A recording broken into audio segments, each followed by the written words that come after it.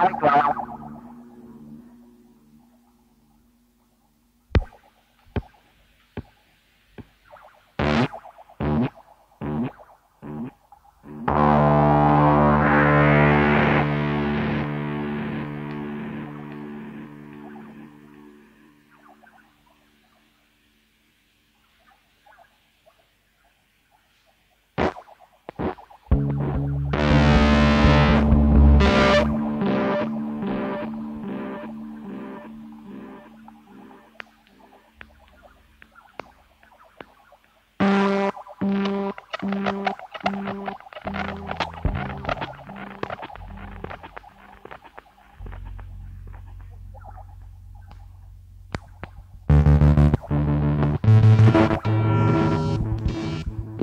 Thank